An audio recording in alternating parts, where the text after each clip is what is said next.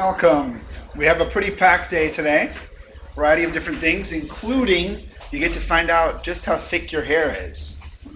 Okay? Using lasers. So that's that's the exciting part of it too.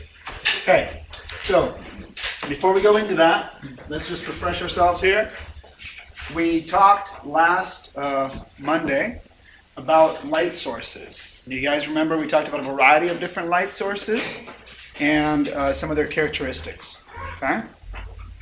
What we're going to do today is I'm going to start with a brief introduction of light matter interactions.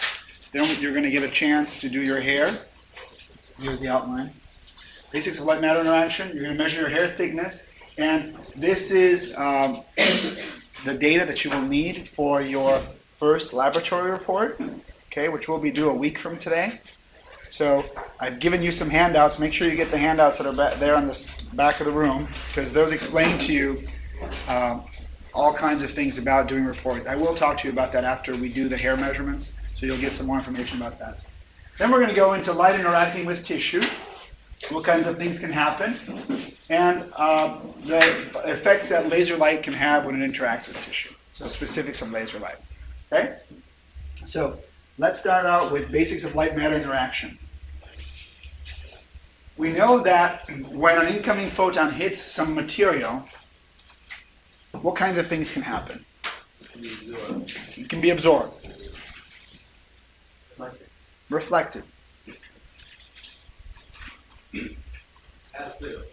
Pass through. Yeah. And any variations in how it could pass through? It could be deflected. Yeah. These are the basic things. You guys have come up with the basics. I mean, absorption leads to all kinds of other behaviors because when a photon is absorbed, lots of different things can happen. But we'll, we'll focus on that a little bit later. So, interaction of light with matter. Okay, so we know that basically reflection, ah, this laser, reflection is the return of radiation by a surface without a change in wavelength.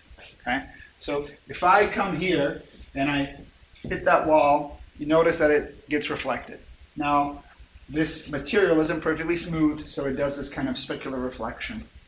But basically, I can also reflect off of another surface. Uh, come on, laser. You can do it.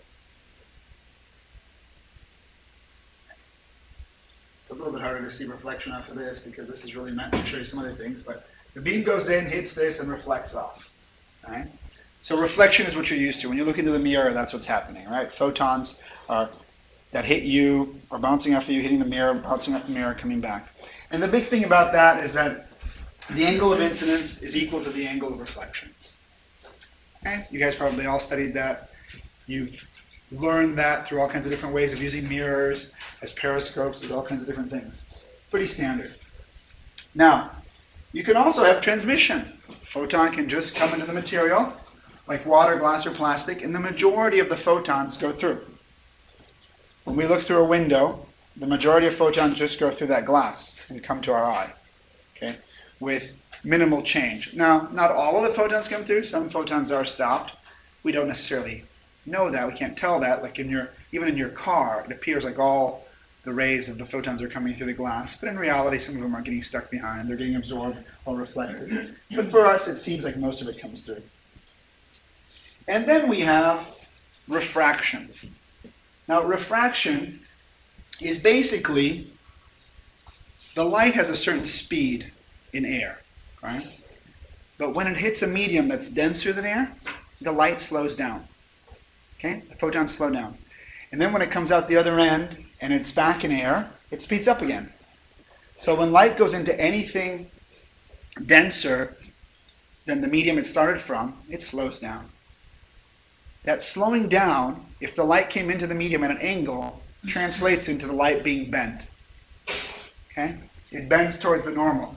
So it comes in, let's say this is air and this is glass, and this is the surface, the interface. It comes in and bends. And it bends towards the normal. If this is the denser material, the light bends towards the normal. If this was the less dense material, it would bend away from the normal. The normal being a line that's perpendicular to the surface interface. Now let me show you that practically. here I have a block of plexiglass. Okay, it's denser than air. All right. Put it here. And if I shine the laser through it, I didn't work. If I shine the laser through it, come on. It goes straight through, right? Now, you don't know that, but as I go through this block, the light in the block has slowed down and then sped up as it comes back out. Now, if I start going at an angle, can you see what's happening? The angle of this is coming in to here. The light is bent towards the normal. This is the normal line going here perpendicular to this interface. You guys notice that the it's bent, and then when it goes out, it goes away from the normal. That's because of it slowing down and speeding up. As it slows down, the first photons that entered into this plexiglass slowed down and didn't go as far. So overall, the whole train of photons basically bent inwards towards the normal. But then when they come back out here, the first photons to sneak out got to go really fast again because they got to speed up, they got to bend away from the normal. Okay? And you can see all kinds of different things happen simultaneously in this piece of plexiglass. Here I've got reflection. Here I've got refraction. Here I've got an internal reflection. Okay? And this is what ha- tends to happen in most um, situations that we in- interact with in biophotonics. The moment you introduce either lenses, filters, different things, all of this different stuff happens. And in biological tissues, it gets to be a real mess. Okay? Because there's all kinds of little things happening, which we'll be talking about soon. Okay? So, for example, diamond is 2.4, refractive index of 2.4. What that means is that compared to air, which has a refractive index of basically 1, it means that the light is slowed down 2.4 times compared to the speed of light in air. Glass is usually about 1.5. Okay, it depends what type of glass you have. Okay? But effectively, it changes, it, it, it looks to us like it's bending. This is the reason why when you're looking at something underwater, okay, you actually think it's in a different spot than it really is. And this is part of the reason why, um, I don't know if you've ever gone spearfishing, but people that go spearfishing, they have to learn that that's an illusion and it depends on how deep the fish is in the water. When they go to throw that spear, they often miss when they're first learning because the fish is not where it appears it is. The light has been bent from the fish towards the normal, so the fish is actually further away and up closer, up closer to the surface than you think. Okay? And it also leads to a distortion in size. Okay? So lots of different things like that happen. So there are some tools. I just showed you an example of how the light bends, and we can use this, for example, in something like this.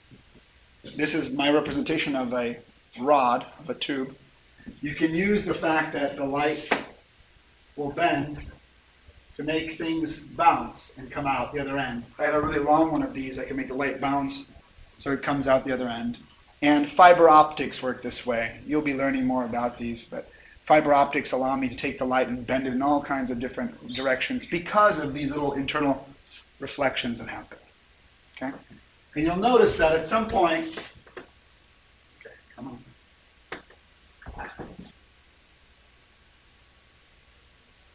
So here it goes through, here it goes through, here it goes through, here it goes through, here it goes through, here it goes through. At some point, a lot of the light ends up reflecting off. Not as much light ends up going through. So depending on the angle at which you're coming into the material, you might lose most of the light into reflection rather than actually going through the material. But there's always a little bit that leaks through. Now there's an applet, if you guys want to play with this, with the different substances, it'll be, this is the URL for it right here, just to show you what it looks like. It's right here. You can take your your beam in air and you move it, and you see it shows you, depending on the angle that you put it in, it shows you the reflection and the refraction into the material. And you can change the material. You can say, I want my second material to be quartz glass. You see that bent it more. I want it to be diamond. That bends it the most. Okay, so if you guys want to try it, you can follow that link. Okay. And then we have scattering. Scattering now is a really common one that happens in biological tissues.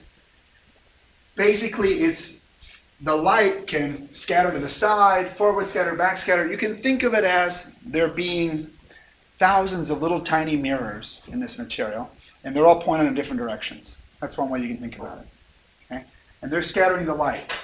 The sky is blue because molecules in the air preferentially scatter blue light. So we see more of the blue light okay, compared to the other light. And the size of the wavelength compared to the size of the particle determines what types of scattering happens. Rayleigh scattering, Mie scattering, there's all kinds of different types of scattering that have slightly different properties depending on the relationship between the wavelength, the light, and the size of the particle. Okay? Now, what do you guys think would happen to a wave that interacts with a slit or a hole in the material in front of it. So you've got a, a laser or any other type of light that you like now interacts with a slit. It diffracts. And what does that mean? It means that it spreads out an interesting pattern. Okay. Okay. Depending on what sort of system. Believe it or not, the pattern that you get from a slit versus the pattern that you get from a object that's the same size of the slit by itself is pretty much the same pattern. So whether I shoot a laser at a hair or a hole the size of a hair, I get the same pattern. All right? Seems kind of strange, but light, because it's acting like a wave, think of it what you know of waves. Think of it if there was a wave of water coming this way or a whole bunch of waves of water, what would they do to that hole? Would they go through the hole? And would you see any waves on the edges of the walls? You kind of see this cylindrical pattern coming out the hole. The waves would go like this, the wave fronts. Okay? With this, the waves would go around and they would form a very similar pattern. They would be slowed down in the middle and sped up on the sides. No, you all want to try it with a water table now. Did any of you get to do that in high school? Did you get to actually have big water tables where you put stuff in it? You raise your hands if you got to do that. Okay. So a few of you got to do that. That's a, a nice way to figure it out. There's lots of movies out on the net too um, that show you. But let me show you an example. So what I have here, I'm going to show you an example of scattering and an example of diffraction. And then you guys are going to do your own diffraction. So what I have here is a cup plastic cup, and I have a piece of tape. Okay? Tape is a very good medium for scattering light.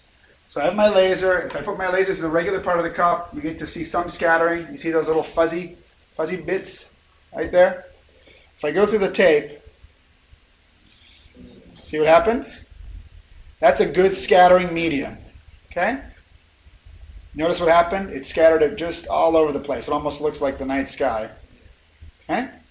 Now, I also have a hair in here. I don't know whose hair, but someone's hair. And the hair, I'm going to shine this laser right on the hair. You're going to see a pattern. Then I'm going to ask you, is the hair horizontal or vertical? Okay? So let me see. Probably the best I can do is scatter in the back of the room. We'll get the biggest pattern. Let's see. There it is. I'm shining the laser directly on the hair. You guys see a pattern? Yeah. You see bright and then dark, bright, dark. See that variation? Okay, so which way is the hair? Vertical. Okay, how many of you think it's vertical? Raise your hand. Some of you said vertical, so now how many of you think it's horizontal? yeah, it's horizontal. Okay. Here we go. I'm going to put it now vertically. Uh, it's hard to find the hair sometime. and there it is. And there's the pattern. Now, believe it or not, that pattern, the the dimensions of where the dark spots are is going to vary based on two things. Can anyone think of what might change the spacing of that pattern? The thickness of the hair and how far from the hair to start to. Those are thickness of the hair is going to change that pattern, and the distance is going to make the pattern more spread out. And then there's one other thing: the color that I actually use. Because different size waves, different wavelengths, will lead to subtraction and addition at different distances. Now, these are some different things that try to give you a sense of what's happening. And most of the examples they show you are through a slit, but it's the same thing as a hair. So here's a slit, here's the wave fronts coming through. And believe it or not, when a wave comes to the edge here, it's actually going in all, there's waves going in all different directions. So this is the funny thing about photons that's kind of hard to understand sometimes. But at any given point here, there's waves that are going straight through, and then there's waves going in all other directions. Those waves going in all the other directions, coming from different locations in the slit, will either sum with each other and make a bright spot, or they will partially negate each other and make a weaker spot, or they will completely negate each other and make a dark spot. So you get this pattern here represented in these waves. This is representing the really bright spot that you saw in the center. This is representing a dark spot. This is where the majority of waves subtract with each other. And that relates to the size of the wavelength and the size of this opening. So those two things together dictate where the waves are going to add up to zero and where the waves are going to add up to more. Okay? And so you end up getting a pattern that's really bright, dark, somewhat bright, dark, somewhat bright, dark, somewhat bright, dark. Okay? You get a whole bunch of these different patterns. And there's some links here that show you all kinds of different virtual experiments that you can do. But I want you guys to do it for real. Okay, that's why we're going to do it with your hair. Okay? There's also some other ones here that allow you to change the wavelength of the light, allow you to change the size of the aperture, and see what happens to the intensity distribution or the pattern that you would get on a flat surface. Okay? And that one I'll just show you real briefly, because I did load that one up. There's an interactive Java tutorial that you can load up. And there it is, and you can change the wavelength, and you can see how the pattern changes. And you can change the size of the slit, and you can see how the pattern changes. Okay? You guys can try that on your own time and see what you think. But now, let's go back. Where is it? Okay? So, the other thing that you guys mentioned that can happen, we looked at reflection. We looked at just passing through transmittance. We looked at refraction, so slowing down and bending of light. We looked at diffraction. And the last one was absorption. You guys mentioned absorption. Okay? And in absorption, basically, the light, you lose a certain amount of light as it goes through a material, and it does something else. It converts into something else. Okay? That's what's happening. So with that said, now we're going to break up into groups. We're going to need six groups, four people each. Okay? And let me tell you what you're going to do. There's a packet here for each group of four. It comes with a handy dandy all-purpose logo, I mean a Lego adjustable laser holder. Okay? You guys can modify it if needed. It comes with a handy dandy holder.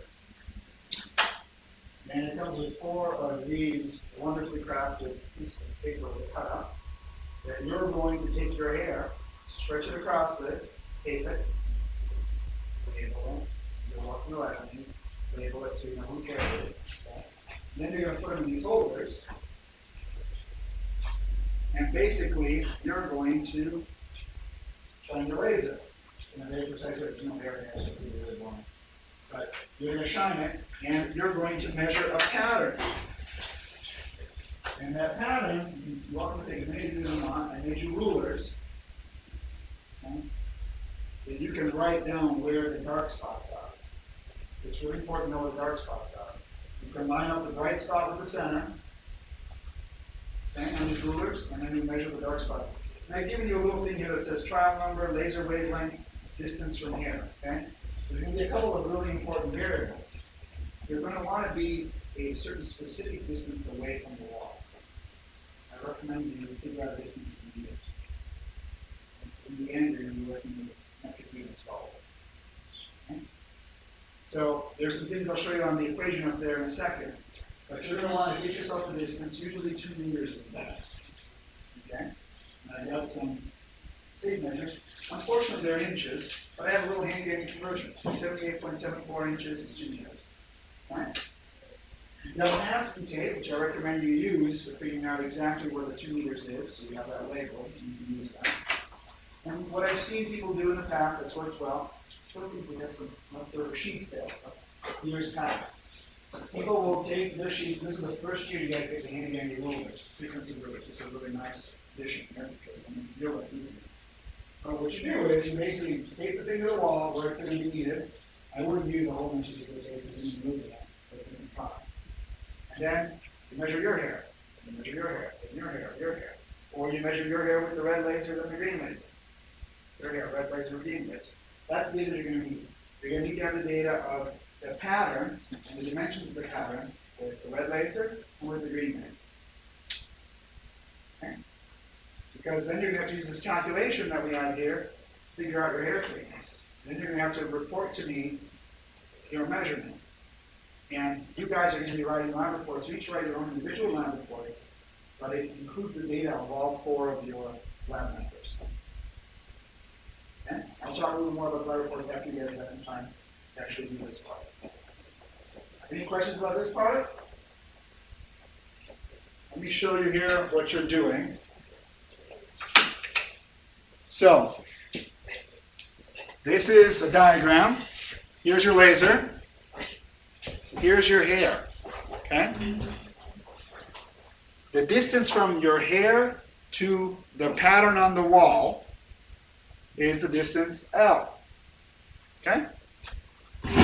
Angle, so you see this is the bright spot. See, this is the center point.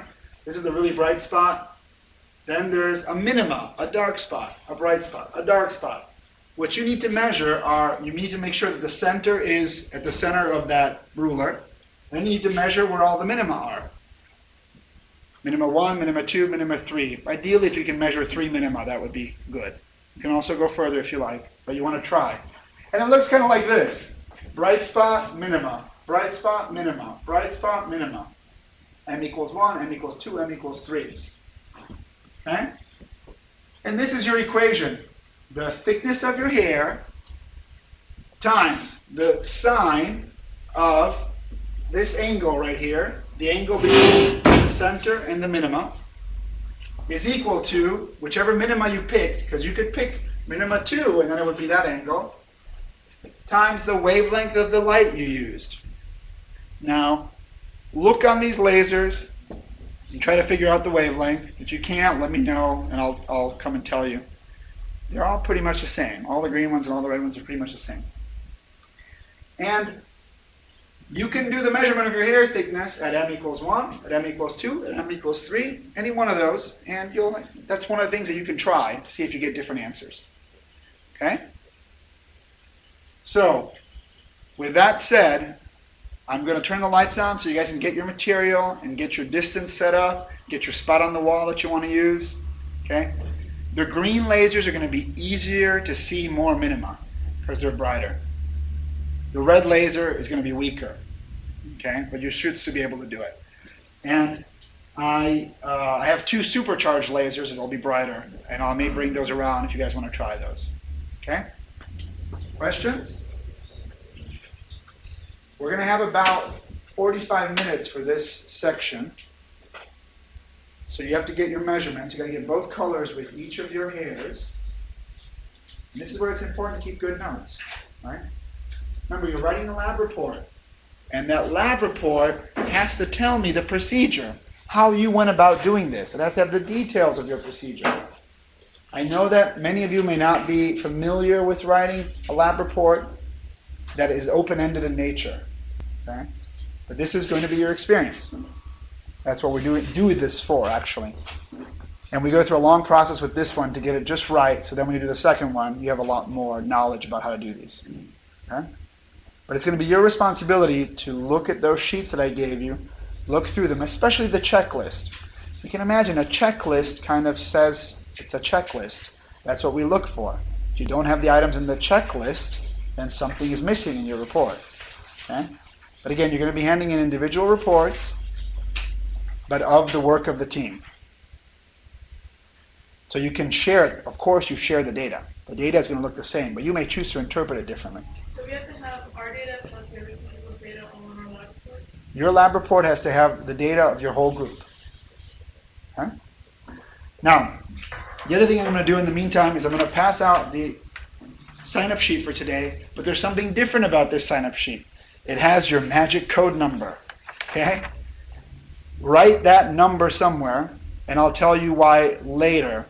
How? Because what you have to turn in ha- cannot have your name on it, because we have to do what's called anonymous peer review, and we're going to be using the code. Okay? So make sure when you sign in, you read what your code is and you write it down somewhere.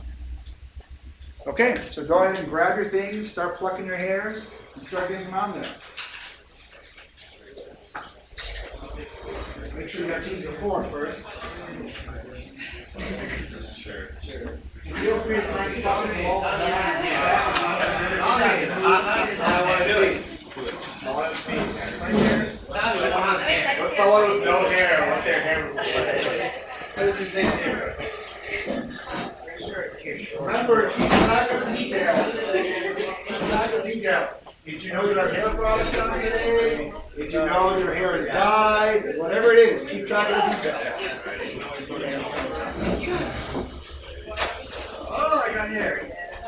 If you end up using a beard hair or chest hair, keep track of that.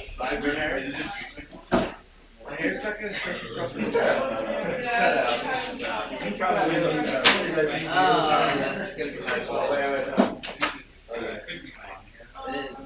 If you happen to if you happen to have particularly short hair, then uh, have some of these that have slightly smaller openings. I think my beard is long enough to do whatever.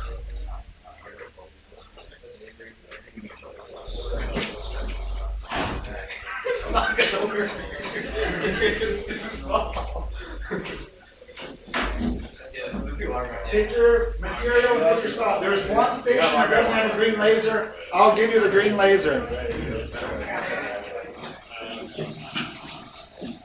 Uh, uh,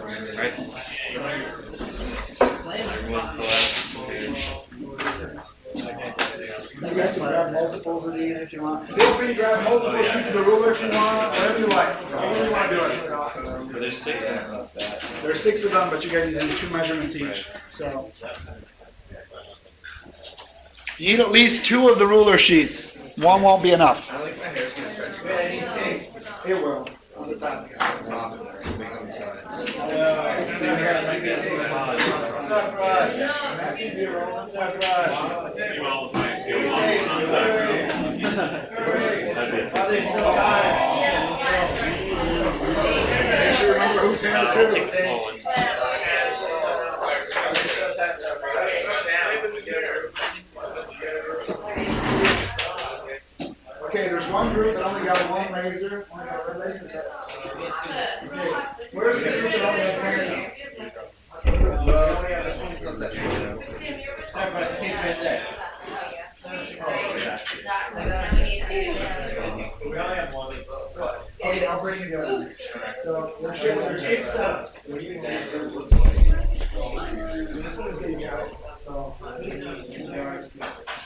Look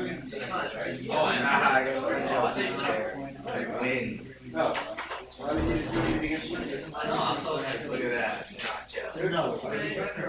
find Scotch? Uh, There's none of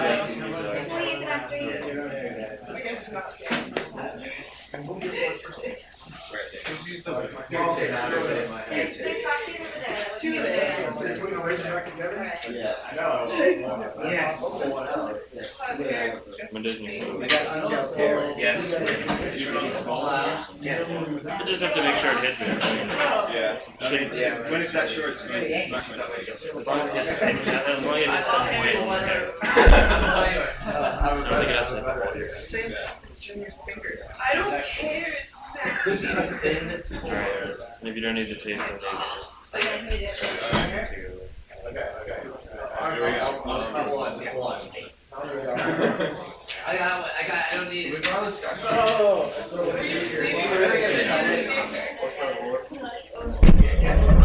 Uh, Taylor for me, Oh, I got one. uh, okay. We could have set two going at once. Because there's a red one in here, and we got plenty There you go, where's the yard? of If you happen to be particularly quick, I'll let you try the blue laser. Where are the yardsticks? Uh, all we have is two measuring tapes. So he's got one of them right there. Well, I guess it should be a double. And remember, you're measuring the distance from the hair to the wall. Yeah, okay, so it's gonna hit there. Did someone shine the laser to the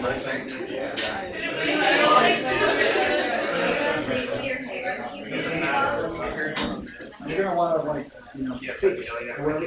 You guys need to take your, make sure you tape down onto the ground, I mean, onto the table, your hair holder.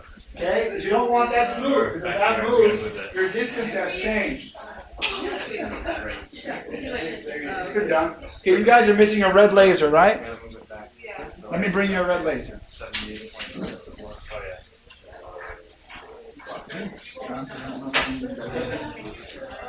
Oh,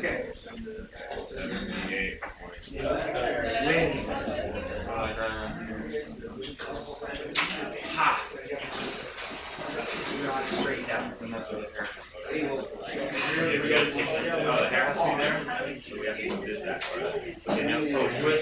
to that the? I. Remember, what matters is the distance of the hair to the wall, not the distance of the laser to the wall. I didn't. That don't want that to change. Ours, There's only two measuring tapes that have to go, around. Make sure you have some of these sheets use. You guys have some of these?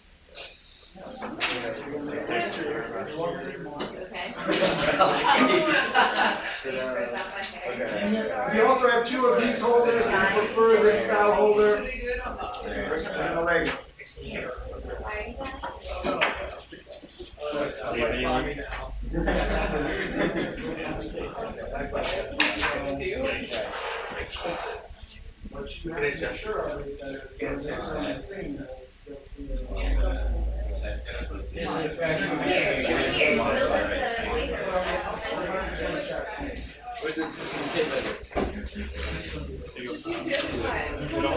where you your hair into. We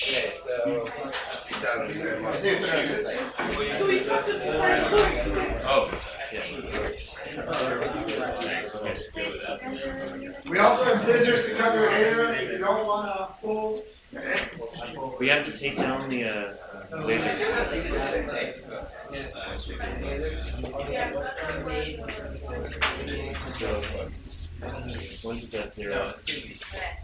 So, once it's at zero. Good. Great. Well, we can always move this. Yeah, just line it up with this and we'll move. So why don't we just?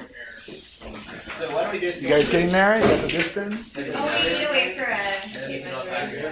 Okay. Uh, You can go two meters, three meters, whatever you want. We're gonna turn off the light shortly. Oh, he's not. He might need to turn. It looks like it's. Yeah, oh, yeah, yeah. Except it's, oh, it's horizontal, so we have to make this.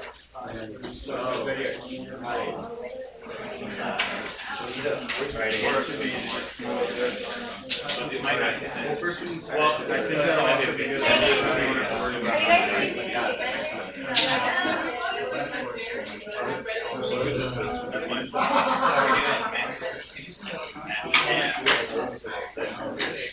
good. That's good. All right, we got information.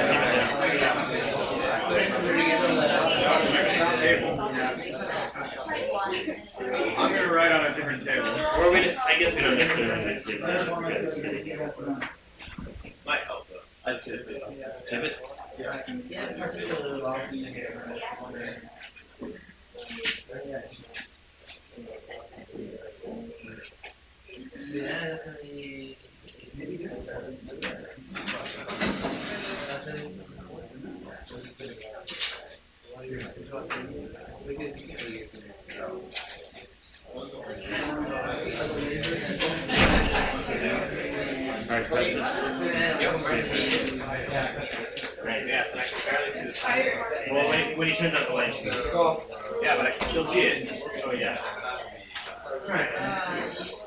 Well, I can see it too. Okay.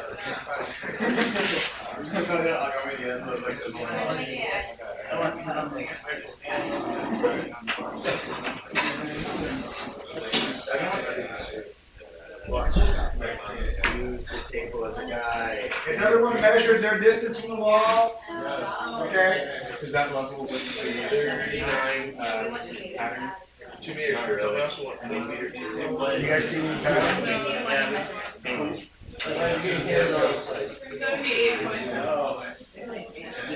I feel like there's like six hundred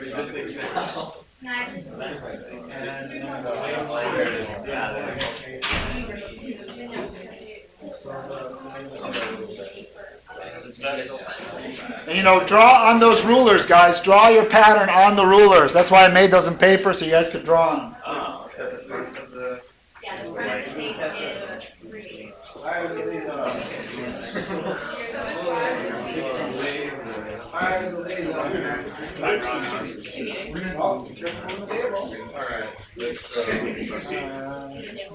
It? Be really careful. Don't point the laser in your eyes. Okay. This. Uh,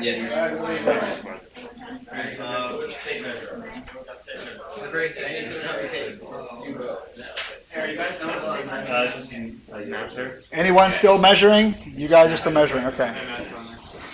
Then we're gonna turn off the lights so you guys can see this really well.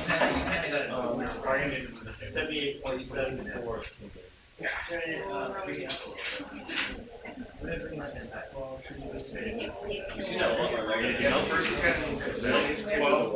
Remember, as you're keeping track of your procedure, the procedure has to have enough information so that what you're doing could be replicated by someone else who wasn't here. Okay? Did you guys hear that? Your procedure has have enough information so that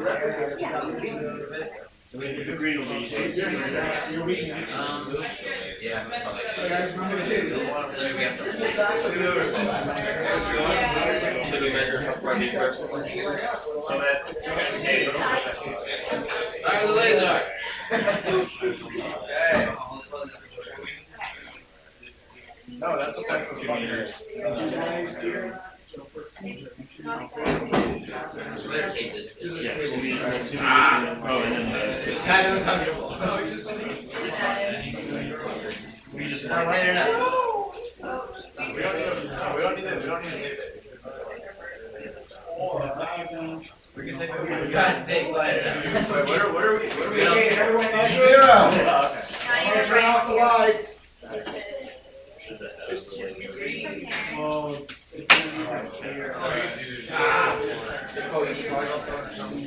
Be really careful not to have the laser shine in your eyes, especially after you're marking.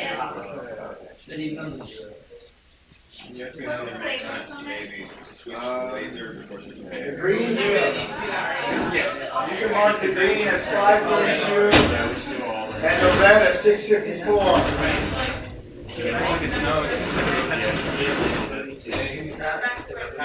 Oh, yeah.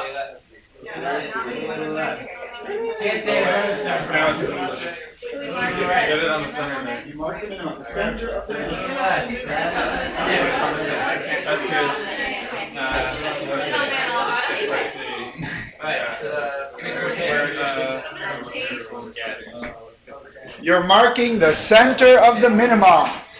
Should we put the laser closer to the Oh, that's a good one. That might help. Right off the center. If you're not on center, you can also say this is the center and these are the minimum. You can always remeasure. Just a little harder. Remember, if your center is immediately Yeah, we on, can always exactly work what the spaces and then it's Yeah. Okay, that's good.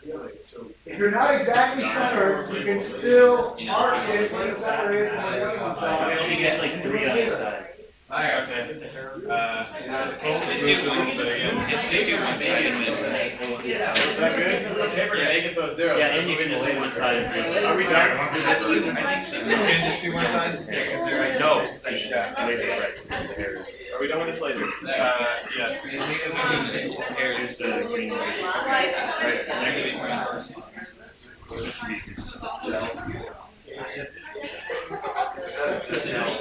Alright, so I'll give this look in there. The distance between the hair and the laser does not matter. It's up to you guys how you want to do that. Yeah, you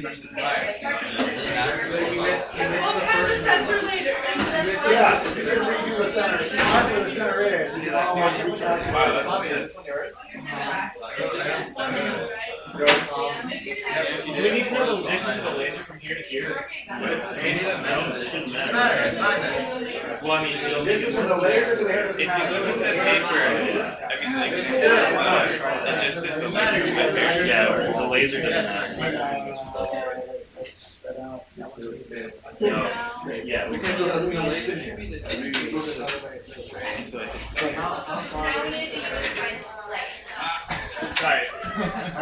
You don't want. Alright. Um, I don't think so. The tape's off center and Oh, there. Yeah, it could be hitting the tape. Look, the tape's not getting ready for this. So from my perspective, But it would be more off to the left. It would this concentrated scattering on the left. Action shot. I the like Nice pattern. Yeah, like us catching the. Yeah.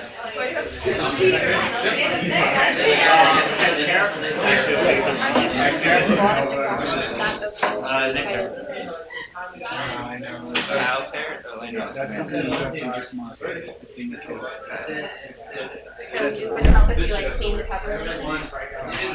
This part is like, remember, these don't come out. So, There's something there.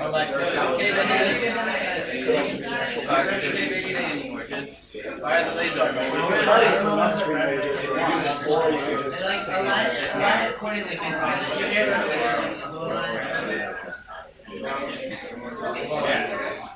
Why are you moving it? Remember, if the laser isn't perfect, it's not perfect, but you need to mark what's going on. No. Laser is ready. Alright. You can put it Lego back up.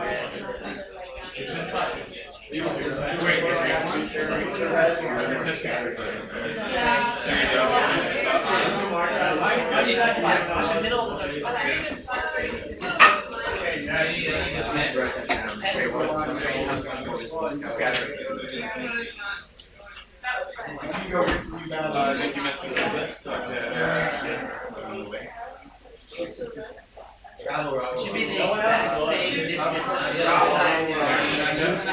same distance. Your sacrifice will not be forgotten. Bravo, bravo, bravo, bravo. Stop.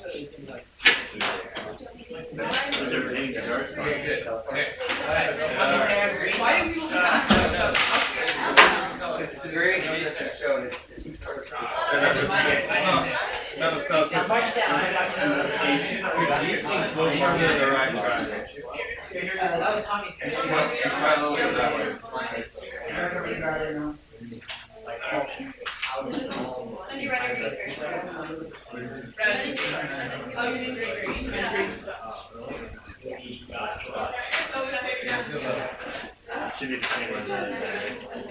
You. Yeah. It's too hard to read. Great guys.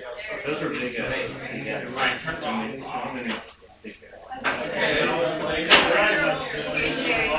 Alright. We didn't, we didn't, we didn't, we didn't attach it. We didn't attach it.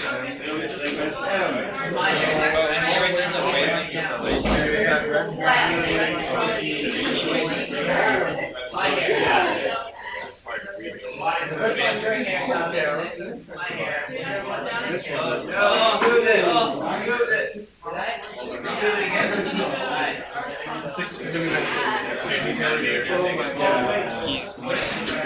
eight. Oh The green is five thirty. Right now we'll. There's one more oh. red.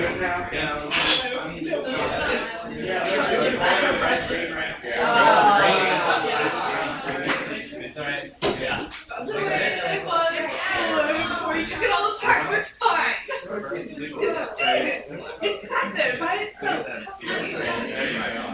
Yeah, that's really good.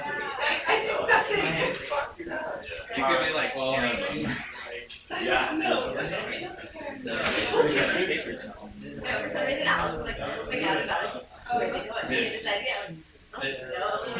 Oh.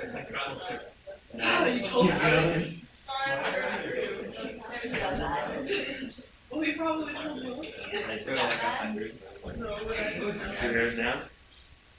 my- Uh, green. So right. There two are two signs over here. Yeah. You mean?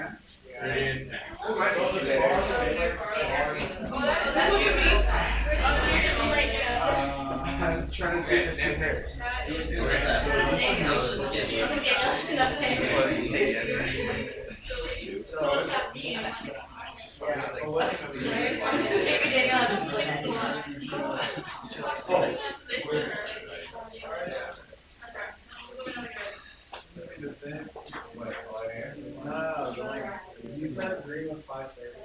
And then the red was six thirty. That's a good one. Small. Yeah. It's almost easier to see on the blue than on the white. Oh, nice, nice, nice.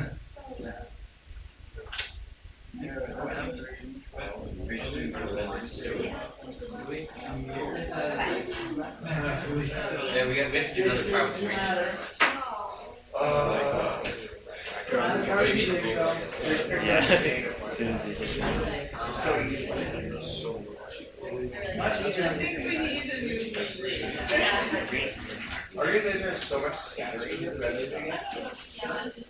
is it a problem that it has that much? Huh? Is it a problem that it has that much scattering? Where's your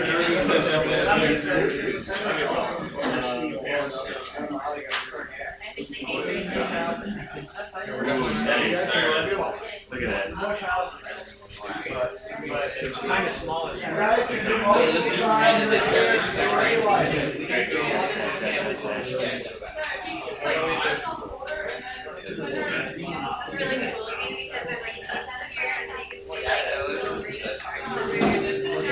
It's really distracting.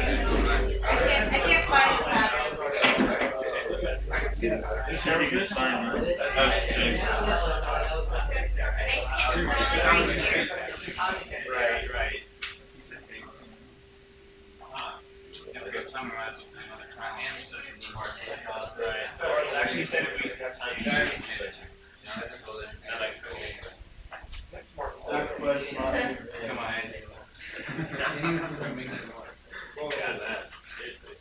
I don't like that Friday. Or I need that. Ah, kind of Okay. Not moving the laser. Don't worry, you're marking.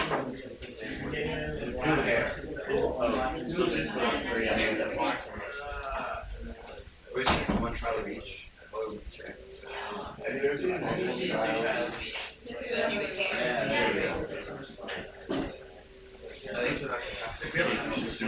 Yeah. Any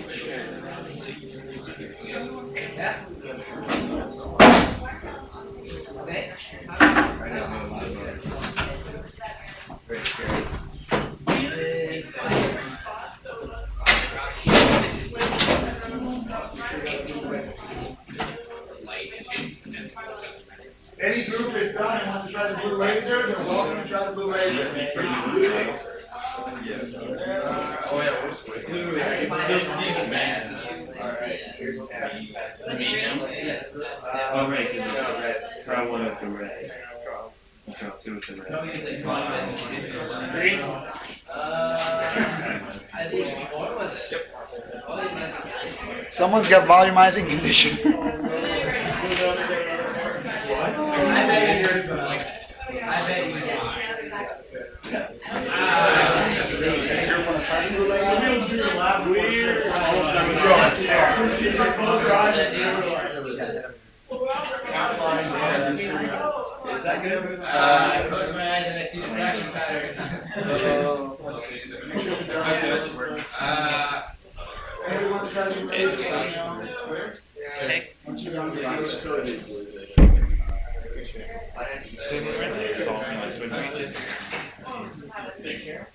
You could, yeah, just divide and then look at it. You obviously like magic or something. Go to the laser. Alright. I'm moving the laser. Let's see the height. It's the minimum. What, oh, Okay. So basically. Because A is the thickness. No, we don't. Oh yeah, we, you could. You could. You could just find a hypotenuse. But then no, but you have to find an angle. Couldn't you just do the ratio between x and the hypotenuse because that equals sine theta? Can plug that in. Yeah, you could. Yeah, you, yeah. You don't necessarily need to. Oh, okay, so it was just a like a whole number, right? Okay, guys. One thing, I've never gotten a picture of the blue laser. Apparently this is kind of finicky, so we have to quickly adopt it. Under my I wrote it four seven eight. I'm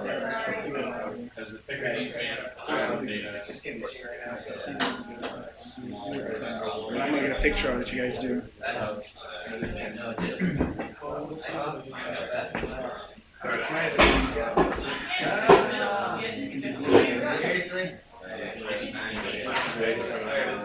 There's a pattern.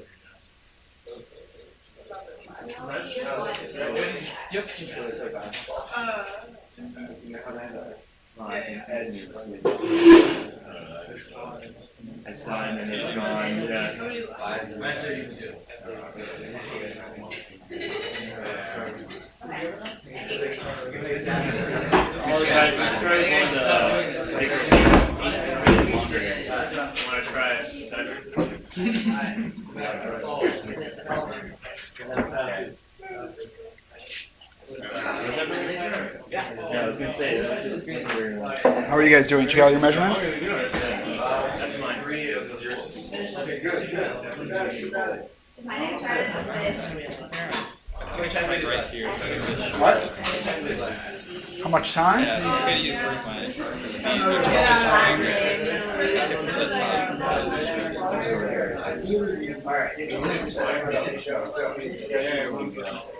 so I'm gonna use work Yeah, so you can figure out theta using tan theta equals x. You just plug in the sine.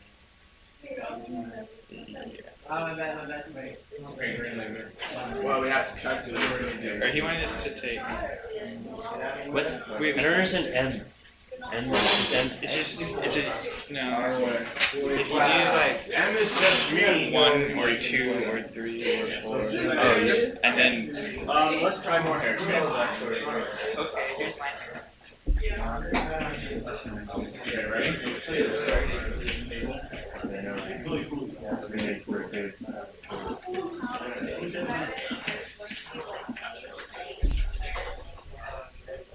This Oh, that's- James.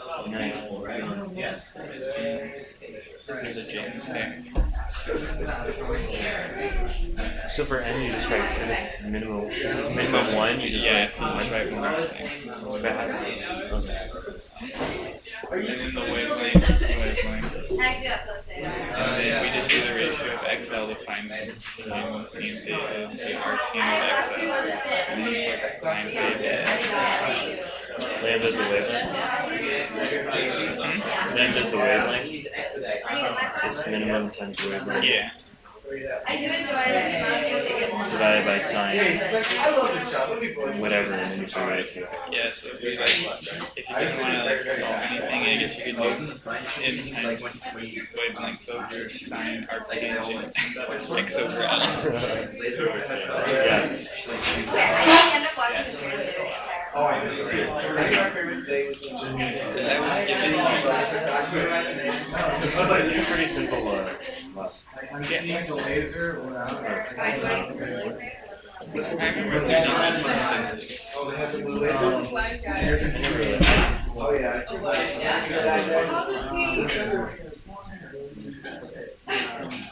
I'm just like, I'm just tricky because like, Like, I can see it. Most, most. there's one thing where it's in, but it's like at the half mark, but I could convert it like right and dark, but I could just like shoot The laser's kind of giving. I close my eyes and you. Here's the back door. Okay, it starts out strong, but then it dies. Yeah, we're gonna have to work fast once we get the measurement, maybe like cool down. It's super fast. Yeah. Yeah, yeah. Could wave that thing everywhere.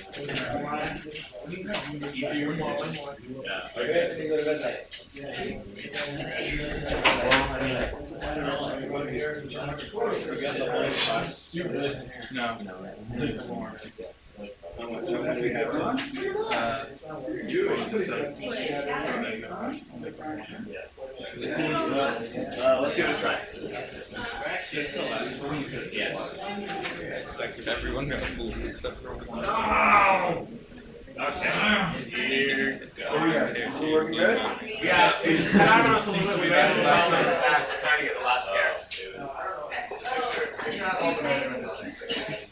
scare. Alright, that should be sufficient.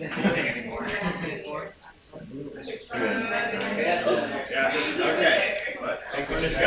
Okay, if you guys have all the measurements, try to figure out. Try to do the math. and see if you can get it. If you have a calculator. The blue is very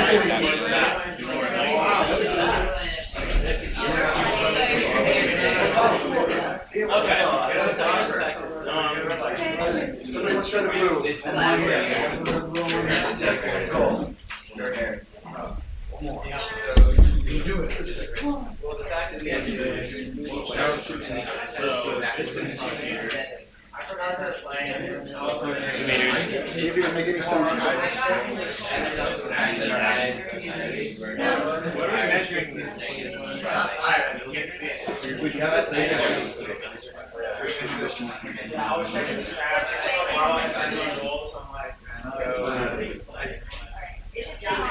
from, it's from the center to the first one. Oh, four hundred and seventy-one It's so much weaker. Yeah, the blue's really weak. You're not going to see a very strong. Why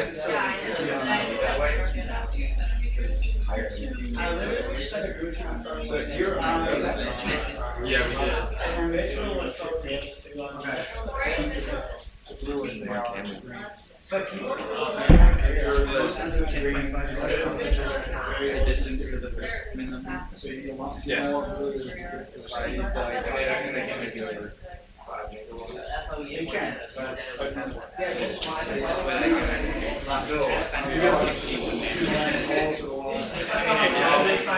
This is. Is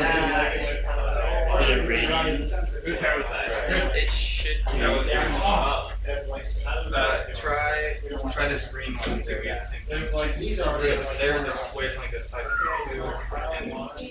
three two. What's the benefit? Like, what's the benefit of using? Oh, oh yeah, you should get the same thing with the X. Yeah. The X and the. That's your application. You getting it all?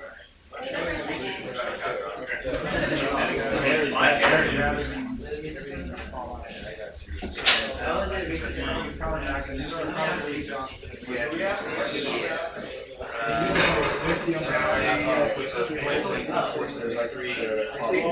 are meant to make do with what you have. You'll be fine. If you've done taking your measurements, try to do a calculation on one wavelength and one person's hair, just to make sure that you know the calculation. The questions, okay? Try it. Try doing the calculation on one trial. Try figuring out what size hair you have. Oh,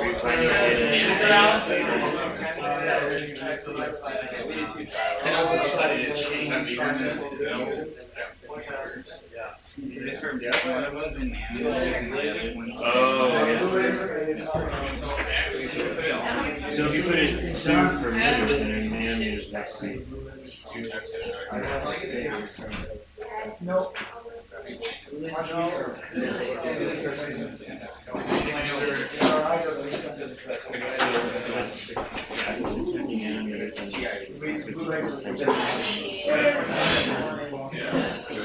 there was three guys and it's not even. No, not trying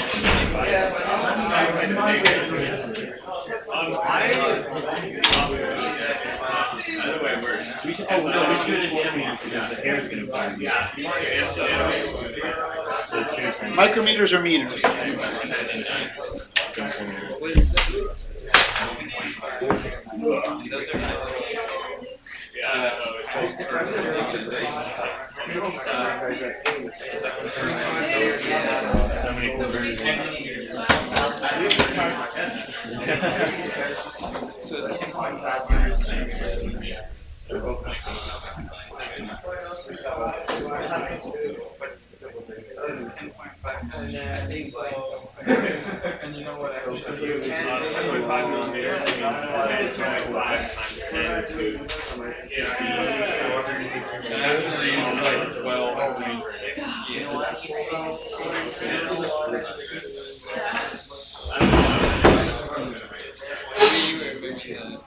I think our first.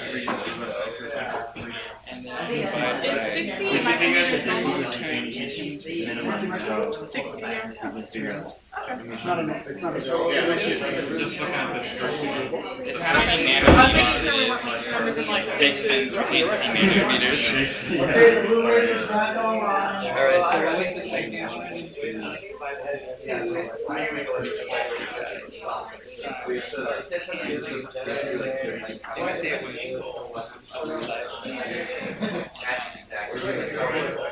I mean, just hide. Yep, you two, five. Minutes.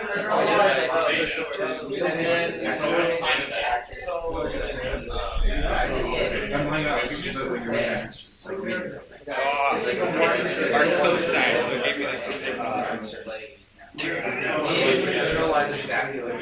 number. But it can be reflected. Alright.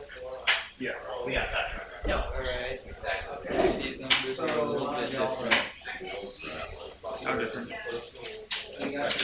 Well, it should be the same. Well, The hair length line it should be the same numbers. So you can bump, bump. Guys. Oh, yeah, you're. The blue is our.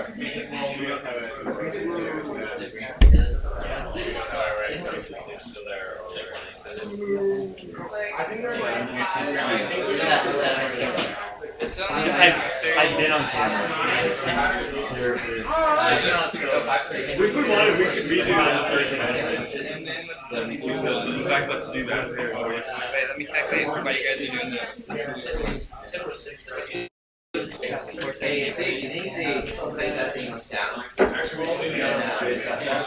that. But, uh, so if that thing plays, like we loop and do call Has someone. made all the measurements? Call on. And everyone on speaker, the voice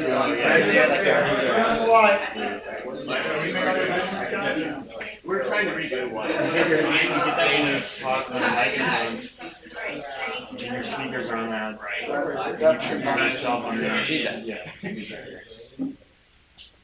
Oh, there it is, yeah. Alright. Let's just from the center to go. Yeah.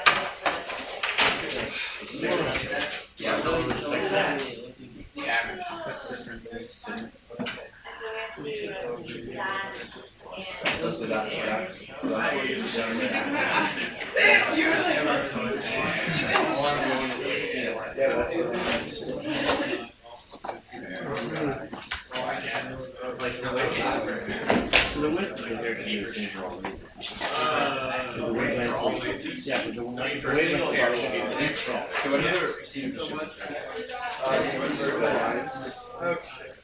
Well, I guess we may take this down.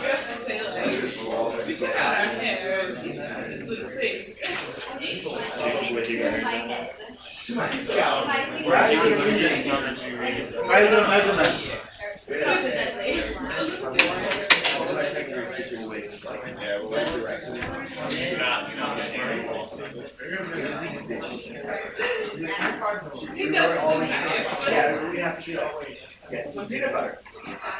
You guys get a measurement? Did you try doing one of the calculations? Try doing one of your calculations? Yeah, What- What'd you get? it was close. Close to what? Well, we, uh, we did, we compared the two, uh, wavelengths, and they were, they were close to each other. The wavelength.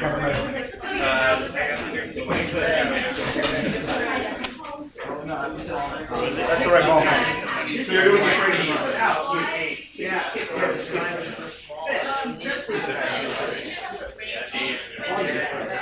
Nice that it's in the ballpark.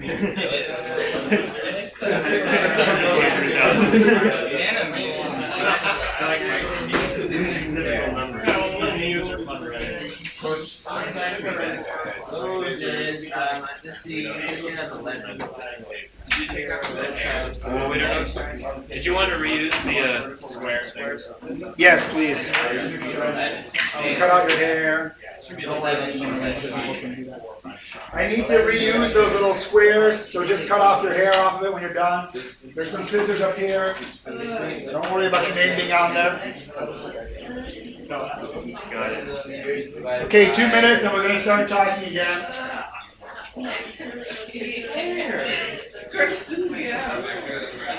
It's just hair. It's fine. It's fine.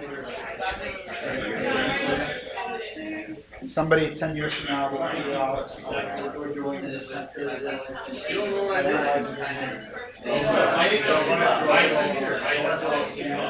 scary. Okay. I basically studied that you were I know. Two point zero zero, two point zero zero. No. Try to do the measurement, try to do one set of calculations, just to see if anyone. Yeah, I, I guess they're close enough.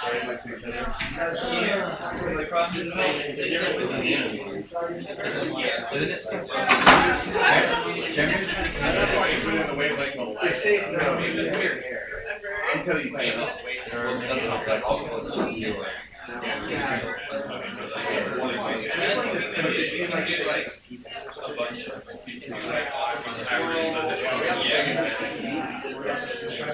has to be smaller. Make sure you, sign up and get your secret windows. Oh, it's six fifty. You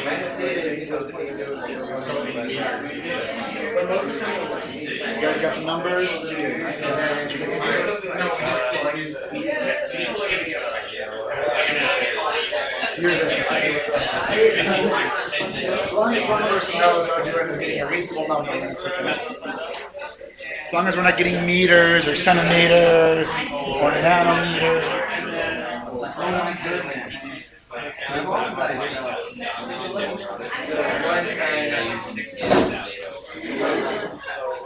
One time the wavelength divided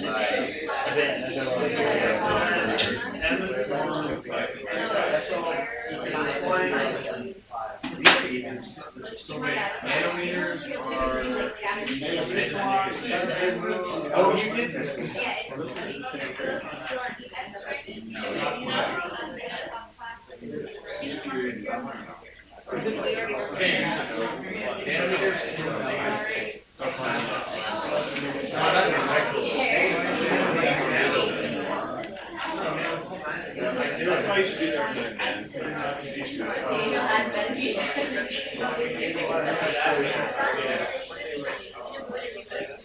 Are we gonna send out a calculation?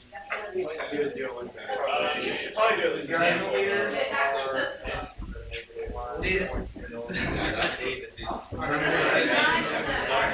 at what do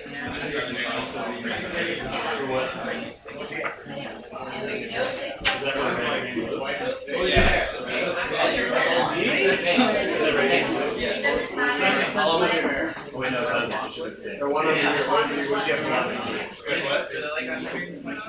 have?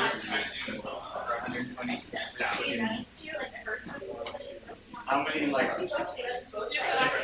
regular thing big, like one point two, or hundred?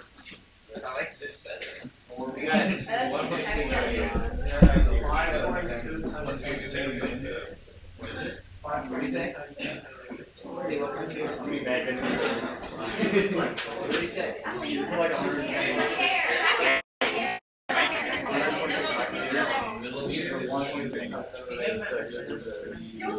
Okay, guys, let's all get back to our seats, please.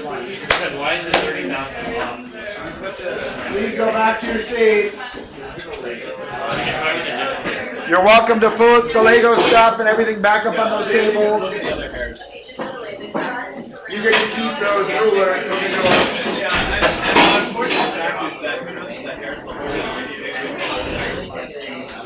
You know, like,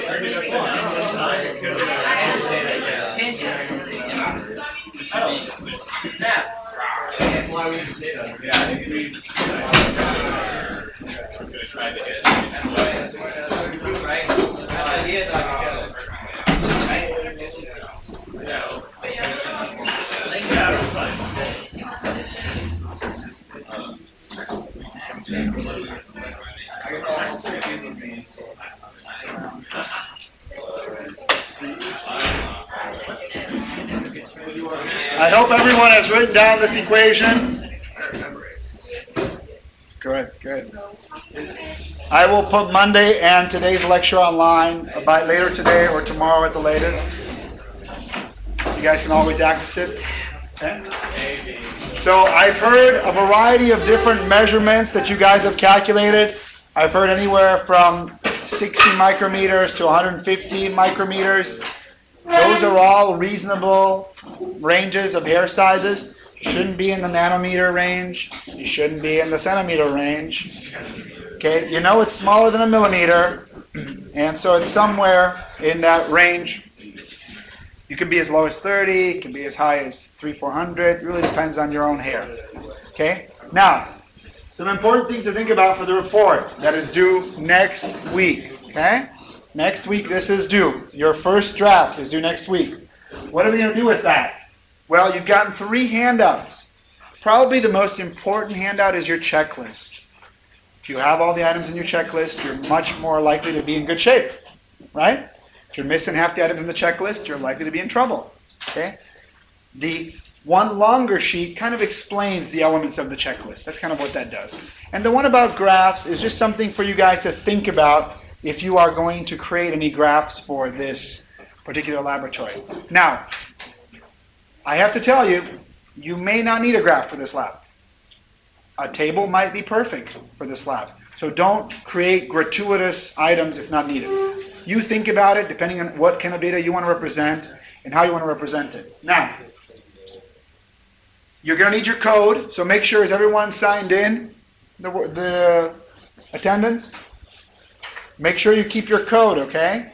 That code, what you turn in next week, you're going to hand in four copies of your lab report, okay, on paper. You're also going to email me the electronic version, okay? But you're not going to put your name or your partner's names on there, okay?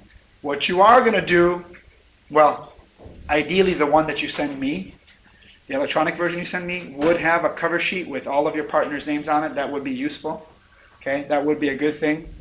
But the one that you're going to give, the other ones that you're going to hand out to others, the paper ones, only have your number on it. So if you were number six, you put number six. And then what's going to happen is you're going to hand in all the copies at the beginning, your copies, and then we're going to spread them out among three of your peers. And if your secret code was number six, you will pick up seven, eight, and nine.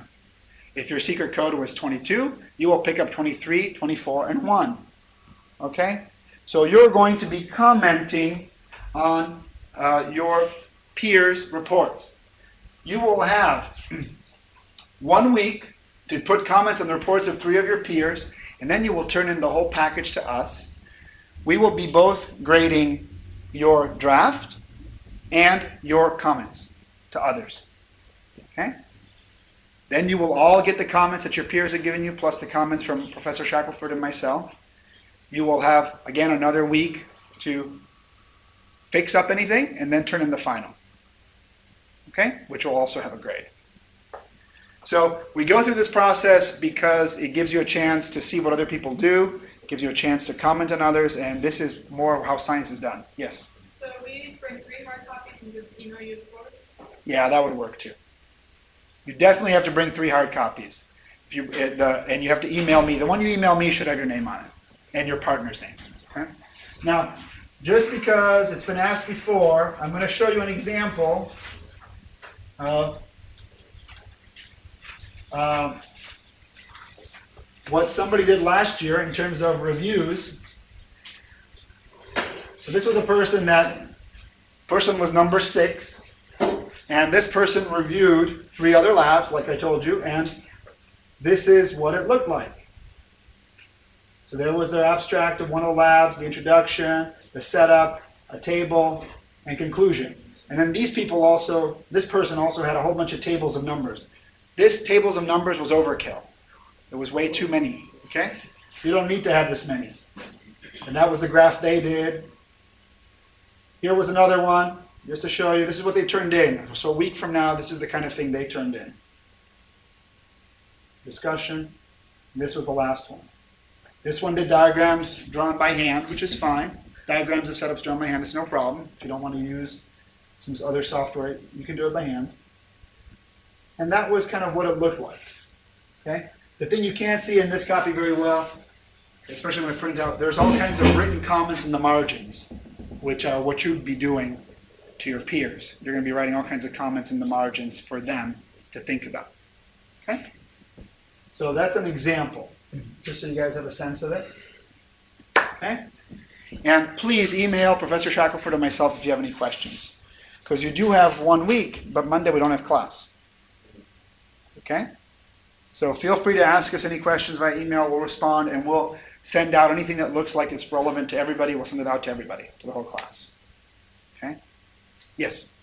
Do you want us to have a diagram of what it actually looks like, like where all the minimums are, or if we just have calculated one from center to minimum?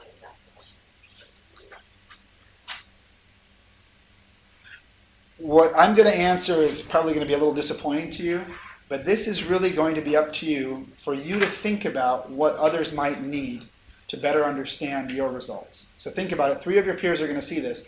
Are they going to understand what you did and the types of calculations you did? If you want to represent that by drawing every single one of them out and you think that's the way to do it, let's see what your peers think.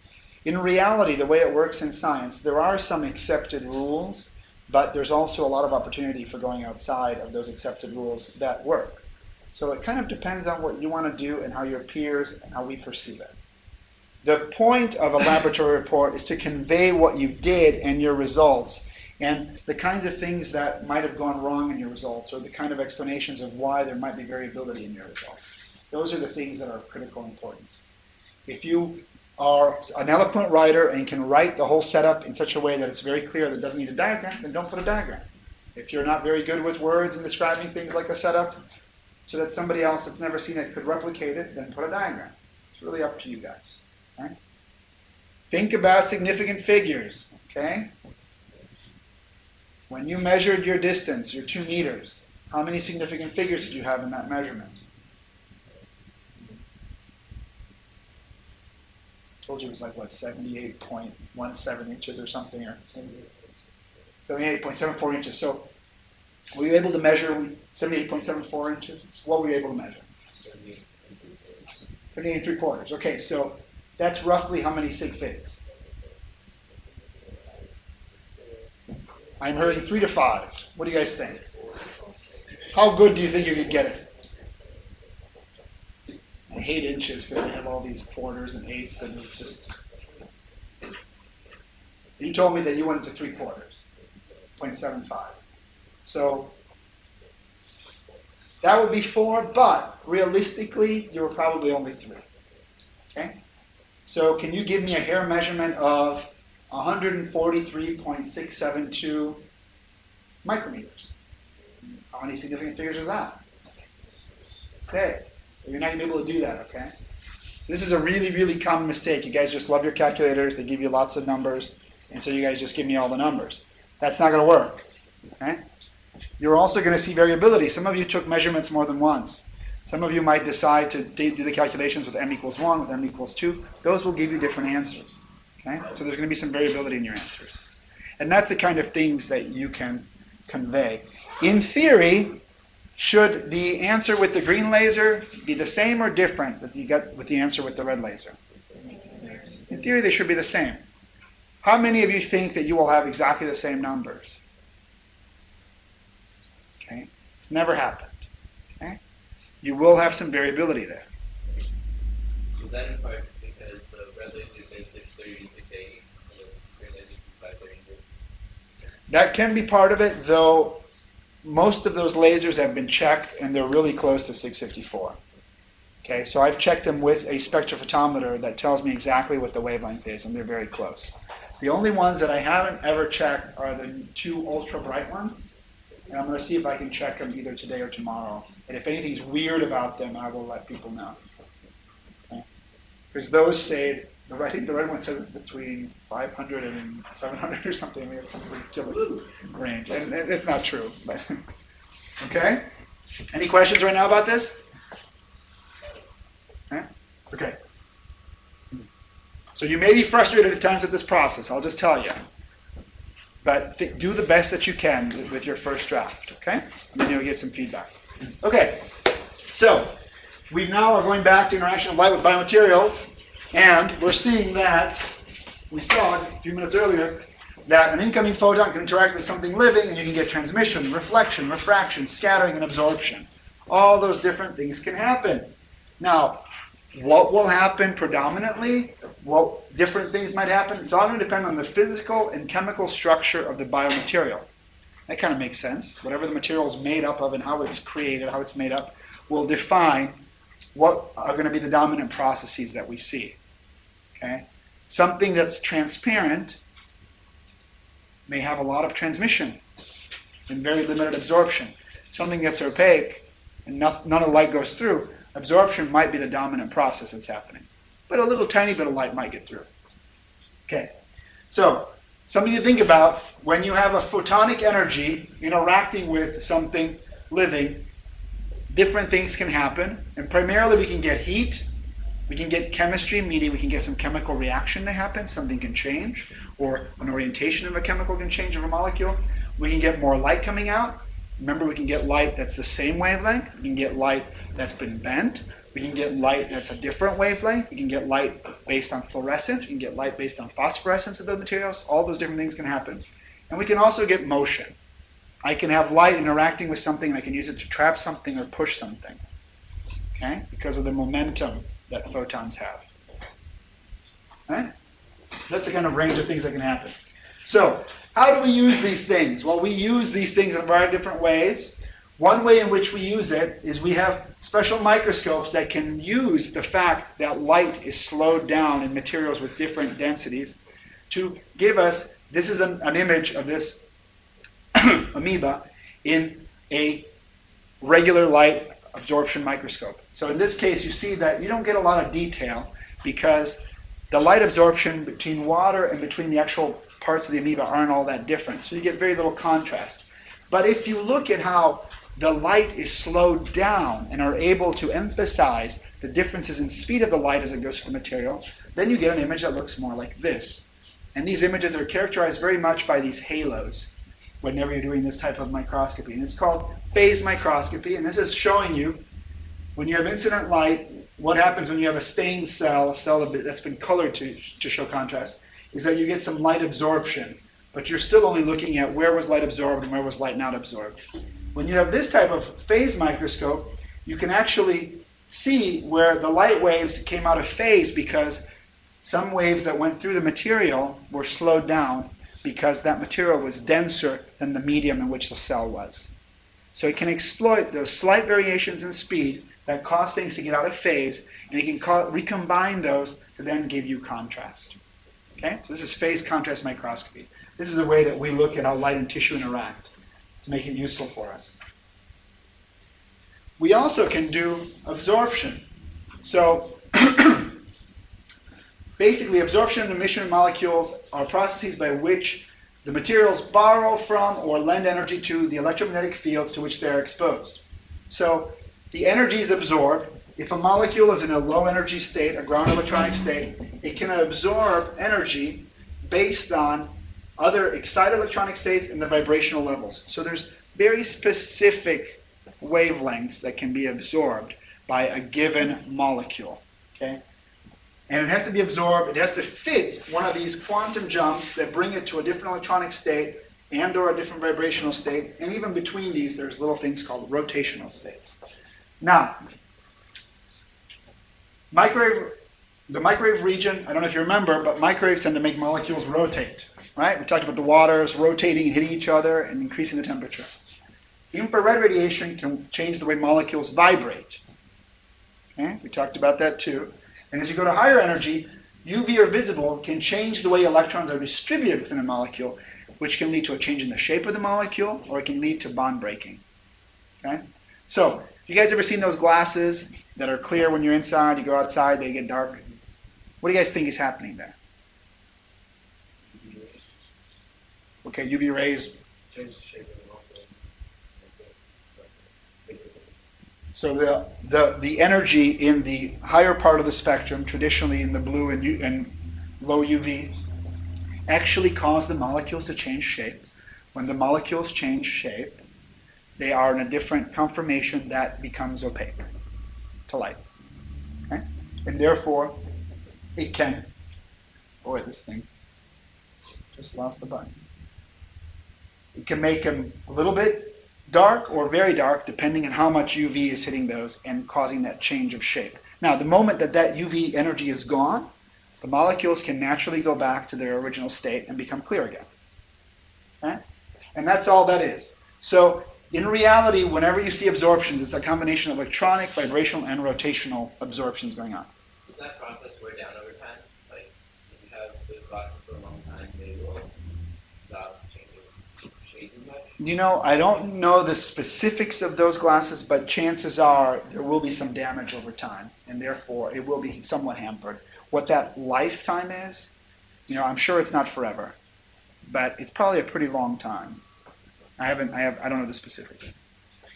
Okay, so you get that combination of things, and basically you can get vibronic states, which is states that are both a combination of an energy, electronic energy state and a vibrational energy state that basically cause a photochemical reaction. So the light causes a reaction to take place. Okay?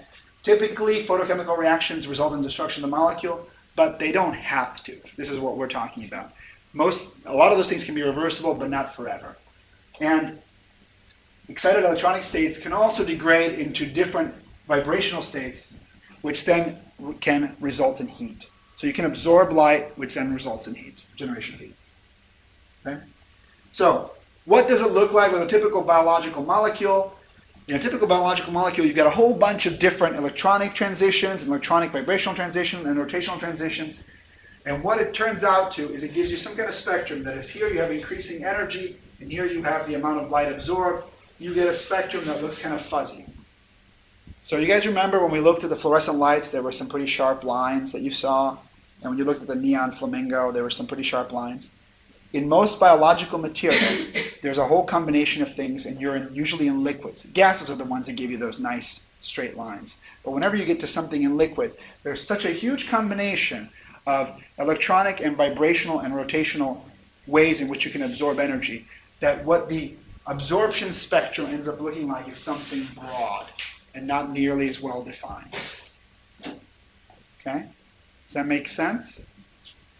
Because it, when you've got a solid, which also has liquid in it, you've got a lot of different interactions going on. And each of those interactions causes a slight variation in where the specific vibrational changes will be for that set of molecules. So you get a range. You do not get nice, sharp gas spectra. Okay?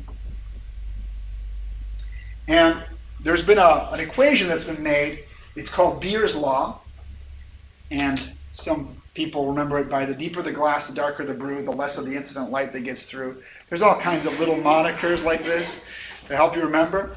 But the basic idea is that this quantity absorption is specific to a particular wavelength, and it's dependent on something, some kind of coefficient, this is called an extinction coefficient, that is specific to that molecule at that wavelength, times the length that the light has to travel through times the concentration of that species. So what this means is that the absorption, if I have a container, a glass container, and I pass light at one end and I measure how much light gets through at the other end, if I have a bigger glass, more light will get absorbed. If I have a smaller glass, less light will get absorbed, right? Less of the material. If the material that's in there, there's more of it, more light will be absorbed. If there's less of it, less light will be absorbed. So this is a way of codifying that. And you can then use this if you know that you're looking at the absorption of iron. You're trying to figure out how much iron is in this solution. And you know the extinction coefficient of iron at a specific wavelength. And you know the size of your container. Then you can actually figure out the concentration of that iron oxide in your liquid. Okay? Or of caffeine, or whatever the, the substance is. If you have some specific wavelength and specific markers, you can figure out concentration. Or if you know the concentration and you know the path length and you know the wavelength that you're using, you can figure out the specific coefficients. There's books that have these extinction coefficients at different wavelengths for all kinds of common substances. So people can look these up and figure out the concentration of something by doing a simple experiment. Right? One that we use all the time with our students, uh, our more advanced undergraduate students, is we do nitrate concentrations or caffeine concentrations. We look at a whole bunch of different foods and measure the amount of nitrates, or we look at a whole bunch of different drinks and measure the amounts of caffeine. You can, you might have done some of those things in high school. Some of you might have tried some of those things, but you can do that through absorption and knowing this information. Just to give you a sense, an absorption of zero is equal to zero photons being absorbed. An absorption of one is equal to 90% of the photons being absorbed. And that's because of this log function. If this is the incident number of photons and this is how many got through, the log of 10, if 10 times as many photons went in as came out, 10 over 1, the log of 10 is 1. If 99% of the photons were absorbed, the absorption is 2. Okay? They use this log relationship because they realized that then you could figure out an absorption and it would be linear with the path length and with the concentration. So this is Beer's law. I will not ask you to memorize this equation, but just have a sense of if you increase concentration of something, that less light gets through. Okay? so what do absorption spectra look of some interesting molecules that we care about? Well, here's the absorption spectrum of DNA. Right? So here is the relative absorbance, and here's the wavelength from 180 to 300. So this is all in the UV. So DNA absorbs in the UV, and if it's double-stranded, it has this absorption curve. And if it's open, denatured, not double-stranded, single-stranded, it has this absorption curve. So I spent a year and a half of my graduate career doing that with RNA. I'd get different shapes of RNA, I'd put them inside the instrument, I'd heat it up slowly, I'd see the change in absorption characteristics over a range of wavelengths, and then I could figure out how much of it was together and how much of it was open. And when did that transition happen? And did it go back when I cooled it again? Okay? So the reversibility. And I figured out that I could make a little tiny thing called a hairpin with only two base pairs and a loop of four around, and I, it could be a really stable molecule. And actually, those things are now turning out to be important as SNRPs or small, uh, uh, small RNA fragments. Okay, so at that time we didn't know about that. We were just trying to figure out stability of things. But over time, it's been figured out that those are really relevant and important because if it's stable at 50 degrees, it's stable in our body at our temperature. Yeah. I'm sorry, they would be again? I was taking uh, different combinations of nucleotides that could, it's a single strand that could come together like this and connect with a hairpin that wasn't connected. And I was trying to figure out how big does this stem have to be to make it stable? How many double pairs? And so I would heat it up. I would look at the absorption at a certain range of wavelengths over a course of temperature changes. And then I would see at some point that the absorbance would change dramatically because I would have gone from the native state to the denatured state. And that happens relatively quickly at a certain temperature, depending on how stable the molecule is. Okay? So you can tell things like that. And here are our visual pigments. Remember I told you we only see red, green, and blue? Well, I kind of lied. We see red, green, and blue, and then we see yellow. But the yellow we interpret as black and white. So we interpret as, you know, just light. So here's our red sensor. That's its sensitivity, its absorbance curve. Here's our green sensor. You notice the two overlap a lot. Okay, the red and green sensors overlap a lot. And here's our blue sensor. And then in between here we have another sensor that happens to be in our rods, which is rhodopsin. And rhodopsin is most sensitive to this part of the spectrum. Okay, so the beginning of blue to yellow.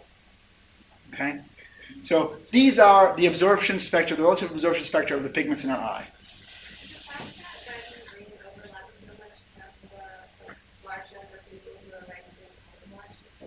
Well, so what would color blindness be? Color.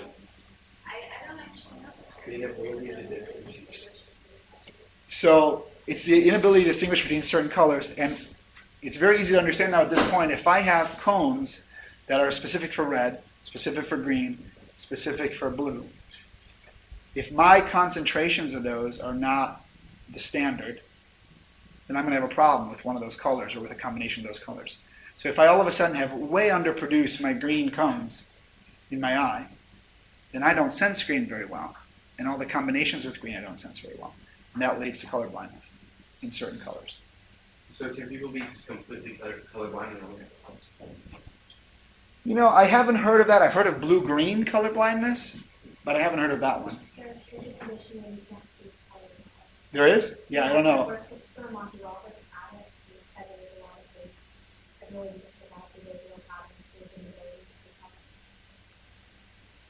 Yeah, so I guess it does exist. I mean, I've heard of blue green is, is relatively not common, but it does happen. Uh, you still have, you know, this capability, but again, you wouldn't be seeing much into the red. You have the capability, and you wouldn't be converting into color. You would be converting it just bright or dark. Okay? So we can match the wavelength. So this is, by the way, the absorption spectrum of water. So you notice that this is a logarithmic scale down here. You notice that water, this is 100, 200, 300 nanometers, so 350. Water does not absorb very much in the visible range. So light, water does not absorb very much of our visible spectrum. But it does start to absorb in the infrared, and it has different peaks in the infrared. And this is kind of a pain for us because when we try to do spectroscopy, try to do absorption measurements in the infrared, water gets in the way a lot, so it's hard to do. But you can look here. This is the absorption spectrum of the aorta, and this is the absorption spectrum of blood. So you can see.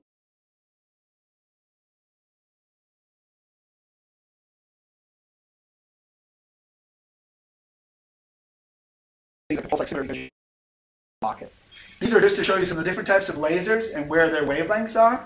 And this is the one of the ones that can change wavelengths. But just to show you that depending on what you're trying to measure, you will get a laser to match the wavelengths that you're interested in. That's part of the reason why we have lasers of all these different wavelengths. Okay, or LEDs of all these different wavelengths, because we try to match them with what we're trying to study. Now, why would we want to use a laser? Why is a laser important? What does the laser give us that some of the other light sources are coherent light, directionality, can go on and off really fast, so we can control the amount of energy deposited.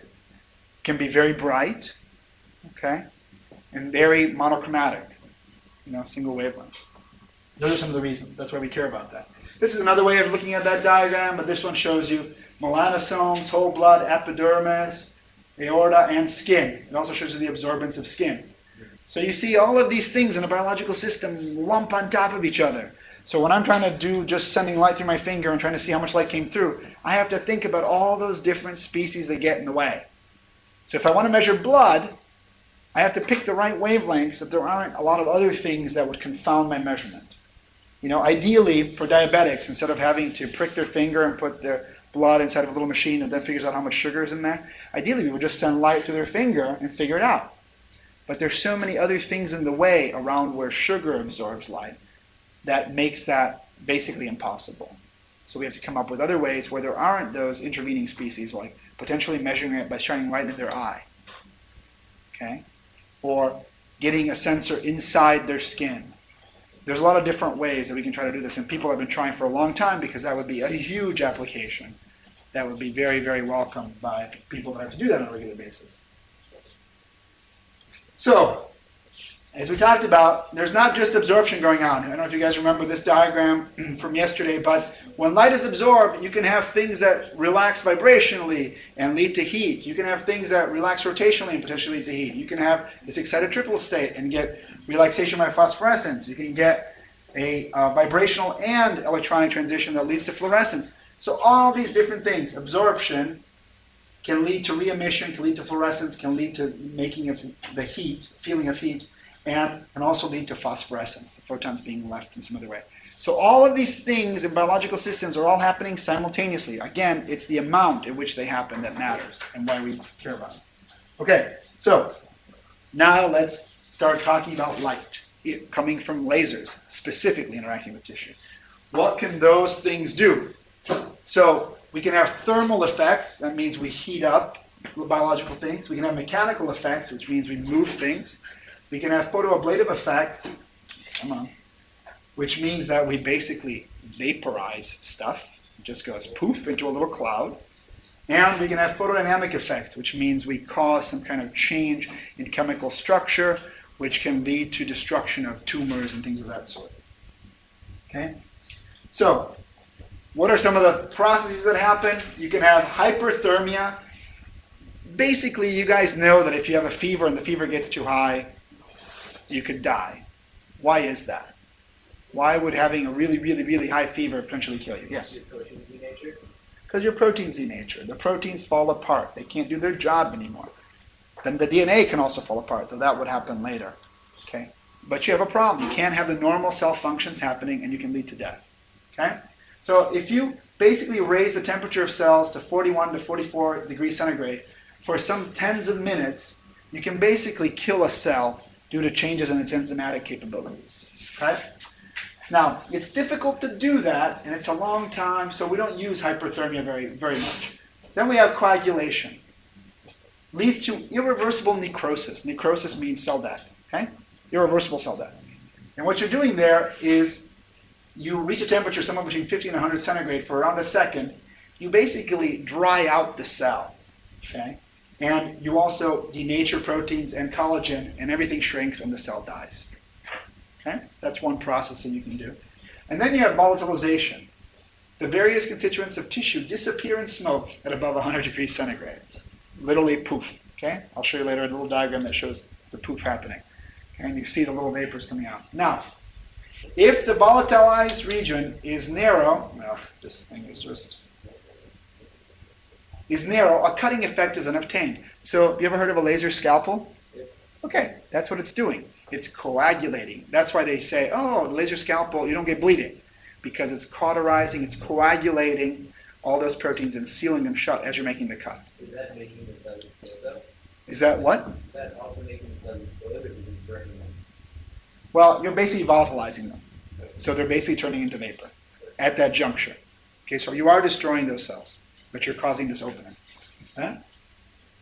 So when we have a laser interacting with tissue, or really any kind of photons interacting with tissue, these are the things we care about.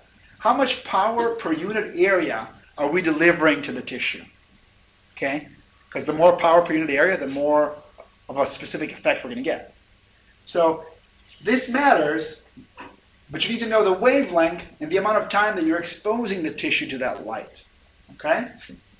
Because you can adjust wavelength and you can adjust exposure time to get the desired effects. So what wavelength and exposure time and power per unit area do is they affect the temperature of the tissue. And the temperature of the tissue is going to tell you what's going to happen. Is the tissue just going to slowly die? The protein slowly denaturing? Is that happening quickly? Are you getting mobilization? Is the cell just going poof? You don't know. Okay? So you can affect, change these things to affect the temperature, and you can change the time to also affect the temperature. Those are the things you have at your disposal. Okay? When you're developing a new system for doing something like removing your tattoos or shaving the cornea in your eye, you can control the, the, the wavelength, the exposure time, and the power per unit area, and that will affect the temperature of that tissue and what happens. Okay? So, here's a thermal effect. This is an unlucky graduate student who looked at an infrared laser few too many times in their optical setup. Okay? And their eye, the back of their eye, where their rods and cones are, see these round spots here? That's where there are no more rods and cones. They went poof. Okay? They're gone. So the reason why we tell you not to stare at these lasers is because your eye is very good at focusing things, and it can take the intensity from the laser, further focus it in the back of the retina, increasing the density, the amount of power per unit area, and causing a loss of sensors there. Now, what does this look like to the person who has this?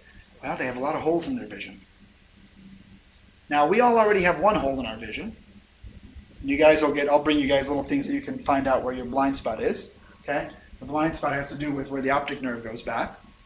But this person has one, two, three, four, five, six, seven, eight additional blind spots. At some point, your brain doesn't compensate very well and you just have spots that you're missing, visioning. Now, why do we care?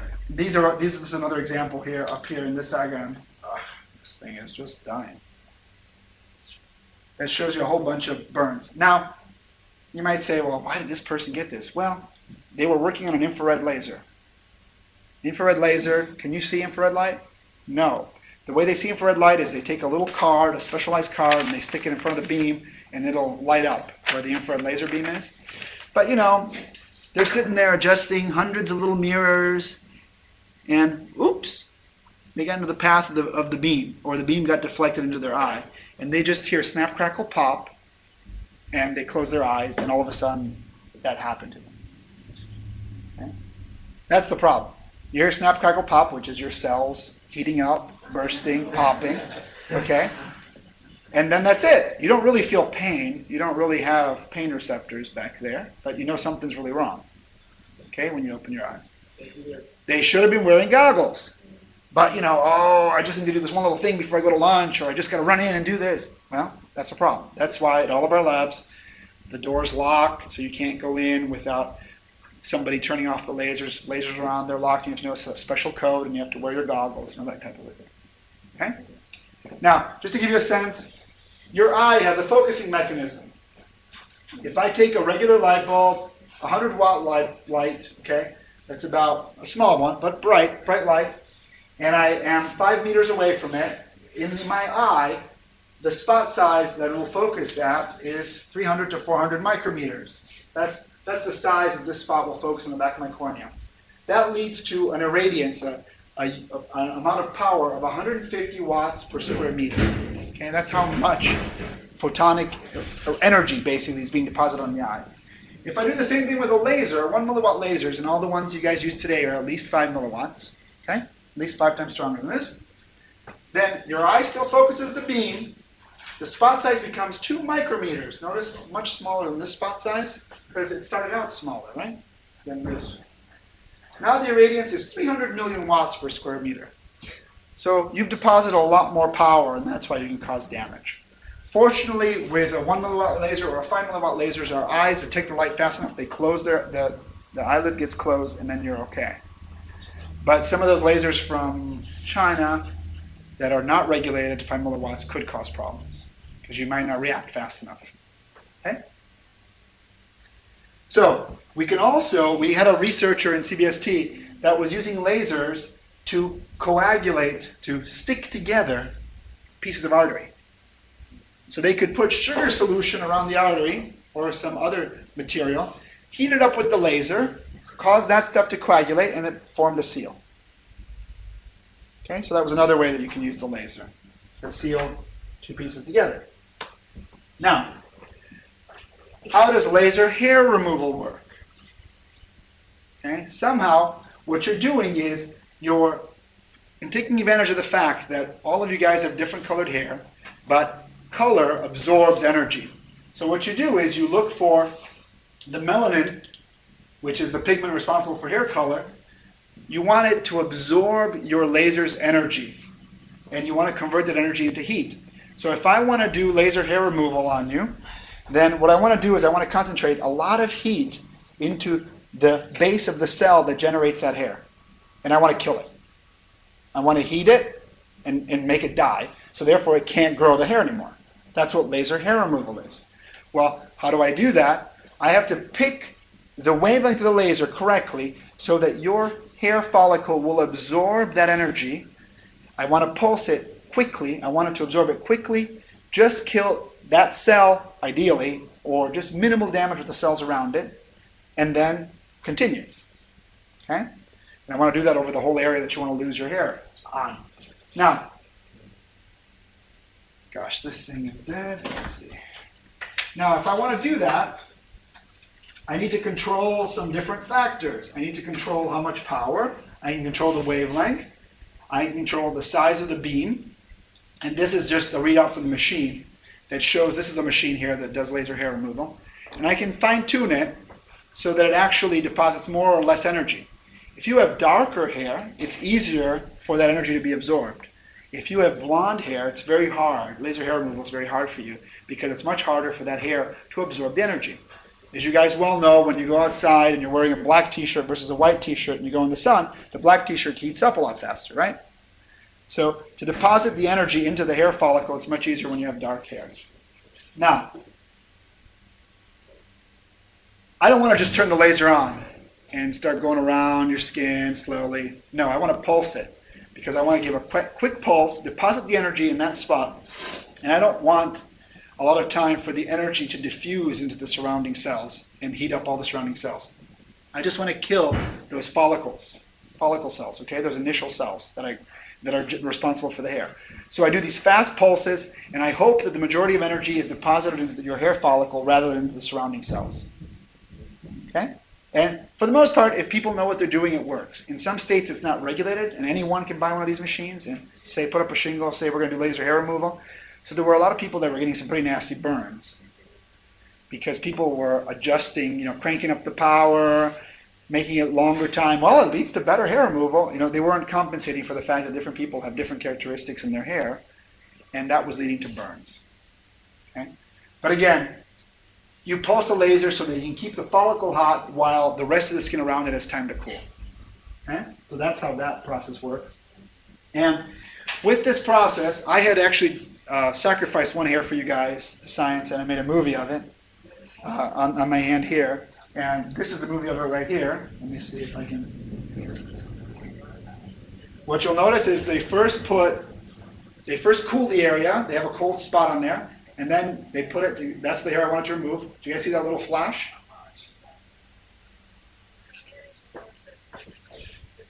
That's the hair and it's been fried. It's this little black spot over here. Okay? All the energy deposited in that hair and just fried the hair.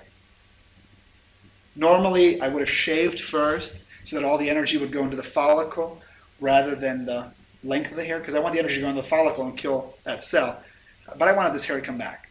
So I just wanted it to show you the effect it has on the hair. Now, she cooled it first to minimize the damage to surrounding areas. And this is one for skin tightening and rejuvenation. You see all those flashes? You don't see those flashes when you're in the room. We only see those flashes because I have my digital camera, which is sensitive to near infrared. And guess what wavelengths they used? Near infrared wavelengths. So the camera would see the flashes, but my eye wouldn't.